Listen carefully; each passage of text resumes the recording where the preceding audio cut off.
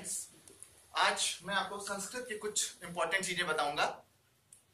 संस्कृत में जैसे सबसे पहले हमें अनुवाद करने को आते हैं, इनको ट्रांसलेशन बोलते हैं। तो पहले बता देता हूँ तो पुरुष के बारे में। संस्कृत में तीन तरीके के पुरुष होते हैं। प्रथम पुरुष, मध्यम पुरुष और उत्तम पुरुष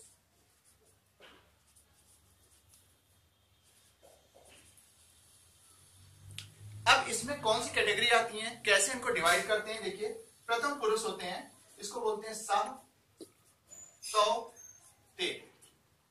मध्यम होते हैं त्वम युवाम, यूयम।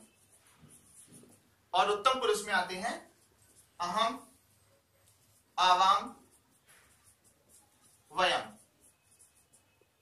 मतलब इनका क्या होता है जब कभी वह इसके लिए हमें संस्कृत सह यूज़ करेंगे। इसी तरह वह दोनों तो और वे सब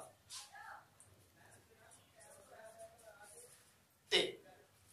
त्वम मतलब तुम, युवाम, तुम दोनों, यूयम, तुम सब। और इसी तरह उत्तम पुरुष मतलब अहम, यानी कि मैं, आवाम, हम दोनों, और वयम हम सब। अब दोस्तों, इसको याद करना बहुत ही ज़रूरी है। आप संस्कृत में कभी भी आपके पास कोई वाक्य है, उसमें गलती निकालनी है, वाक्य का अनुवाद करना है, संस्कृत से हिंदी हिंदी से संस्कृत, सभी के लिए आपको इसका याद होना ज़रूरी है। अगर इसको याद करना चाहें तो थोड़ा सा आसान तरीका है। ऐसे याद कर सकते हैं। सह तो ते, है, प्रथम पुरुष में, मध्यम में त्वम युवाम युयम, उत्तम में, फिर आ जाते हैं अहम और आवाम वयम। इस तरीके से आप इसको आसानी से याद कर सकते हैं। अब देखते हैं अगर हमें अनुवाद करना हो तो कैसे करेंगे। देखिए, इसके लिए मैं एक दूसरा वीडियो आपको दूँगा, जिसमें मैं लकार के बारे में बताऊँगा। पाँच लकारें होती हैं। इसमें मैं आपको एग्जांपल देके केवल उसी से एक समझा रहा हूँ। जैसे, अगर बात करनी है जाना। जाना को संस्कृत में कहते हैं गम। और इसके लिए जो हमारी पहली लकार होती है और लट लकार होती है। लट लकार में गम के लिए क्या यूज़ करते हैं? गच्छति। गच्छता। गच्छन्ति। उसके बाद आता है गच्छसी। गच्छता। गच्छत। और इसके बाद आता है गच्छामी। गच्छावा। गच्छामा अब अगर आपको ये पुरुष पता है और ये लकार पता है तो आप बहुत आसानी से अनुवाद कर सकते हैं, गलतियाँ निकाल सकते हैं। कैसे? ये देखिए।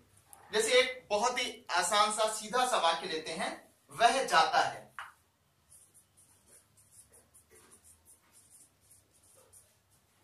अब देखना हमें, वह के लिए क्या यूज़ करना है? स।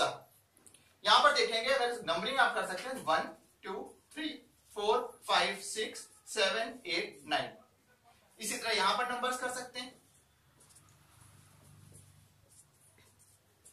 अब देख लेना है अगर यहाँ पर नंबर वन की पोजीशन है, वह को बोलते हैं सह। तो इसके लिए यहाँ पर नंबर वन पर क्या है? गच्छति। लिख देंगे सह गच्छति।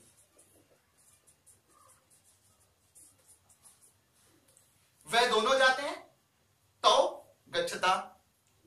वे सब जाते हैं, ते गच्छन्ति। मैं जाता हूँ। अहम गच्छामी। हम सब जाते हैं। वयम गच्छामा। तो इस तरीके से ये मैंने केवल लट लकार बताया। बाकी आप हमारा नेक्स्ट वीडियो देखेंगे, उसमें मैं बाकी लकार बताऊँगा और उन लकारों को भी इसी तरह पुरुष के साथ यूज़ करके हम यहाँ पर वाक्य बदल सकते हैं, संस्कृत से हिंदी या फिर हिंदी से संस्कृत। आपको संस्कृत में कोई भी लिखा होगा वाक्य, आपको किसी ने दे दिया, लिखा है, युवाम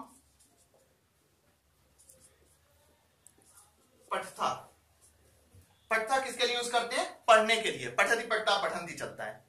पढ़ता कहाँ पर मिलेगा आपको? यहाँ देखें तो इसके मैच होता हुआ है गच्छता। और यहाँ है युवाम, यानी कि तुम दोनों। हिंदी अनुवाद क्या हो गया? तुम दोनों पढ़ते हो। अगर यहाँ पर लिखा होता, युवाम पठामी तो ये आपका वाक्य गलत हो जाता। क्योंकि यहाँ पर युवाम जो है, अगर आप यहाँ नंबर्स के साथ याद रखेंगे तो पाँचवें नंबर पे है, जबकि पठामी जो है, गच्छामी की तरीके से सातवें नंबर पर है। तो इस तरीके से वाक्य गलत हो गया। तो अगर आपको गलती निकालने को आता है, या फिर इसके लिए सही शब्द भरने को आता है कि इसके साथ आपको क्या लगाना चाहिए तो आप इस तरीके से आसानी से पता कर सकते हैं। थैंक यू फ्रेंड्स इतना देखने के लिए, समझने के लिए, आगे के जितने भी वीडियो होंगे उसमें हम आपको संस्कृत के बारे में और भी इंपॉर्टेंट चीज़ें बताएँगे। आप इन सभी वीडियो को जल्दी से जल्दी सबसे पहले प्राप्त करें।